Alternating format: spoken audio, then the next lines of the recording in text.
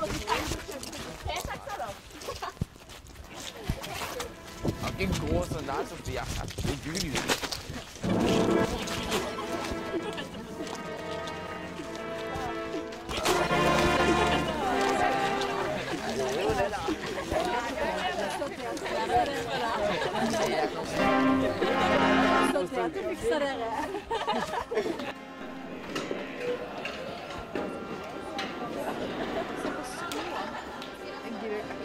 Det er jo egentlig å bruke sminke.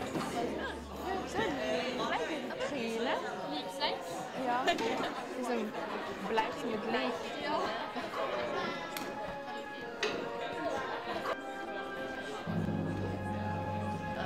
Du trenger virkelig en extreme makeover. Du kan ikke det på deg en Bare med mennesker.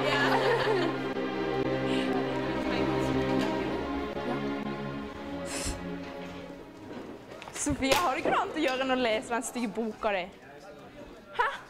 Har du ikke det? Ja. Skal du ikke lese? Hæ? Skal du ikke lese? Skal du ikke lese? Å nei. Kan jeg ikke bare smake på den, litt på den her? Å, æsj, hva er dette her for noe?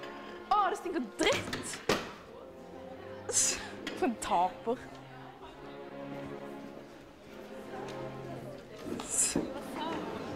Nei, bare satt der og klarte ikke å si noe engang.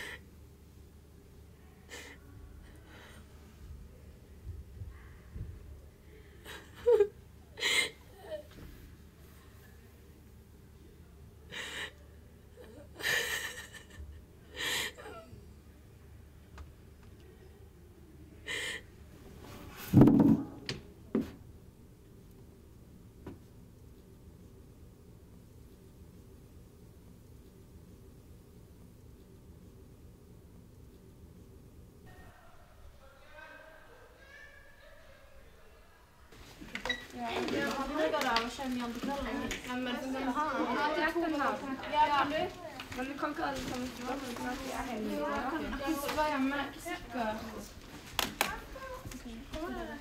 Ja, ja, bare, bare gå dere. Ja. Jenter gjør kjappere slutt. Ja, ja, ja.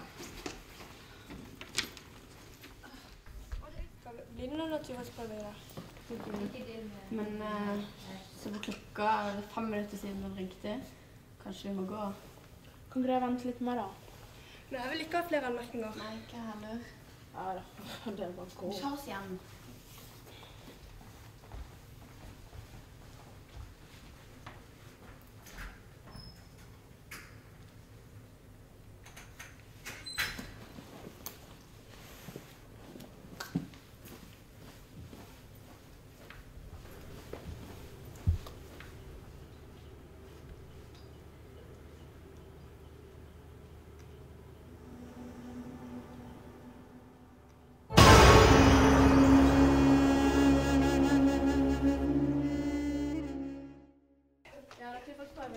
Med deg.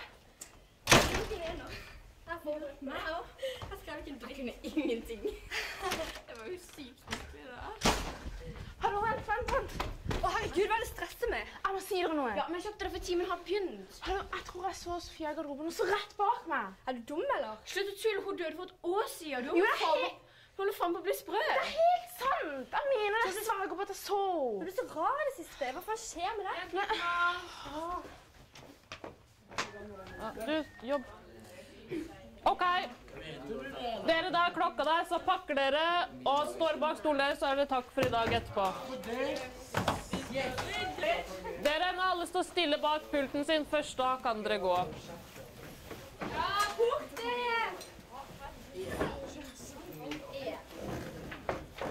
Markus. OK, tusen takk for i dag. Yes! OK,